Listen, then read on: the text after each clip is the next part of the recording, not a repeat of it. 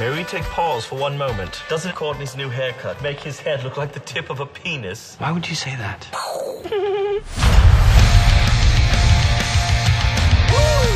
Look at her filthy curves and muddy buttocks. If I wasn't already promised, I'd dirty that water up with her. Are you just going to sit here and ruin all of my jerkings? My brother's bride was stolen by a devious wizard. We aim to kill the magical cocksucker. It's my birthday today, you know. Fuck that. With our huge muscles, we will protect you. Frightening. So you see what I'm seeing? Come back here, you. That is, it might be a trap. It's a trap! A booby trap! Wow! I have seen pain in these dark ages. My only advice would be to hang in there, keep your head up, have sex as much as you can by campfire.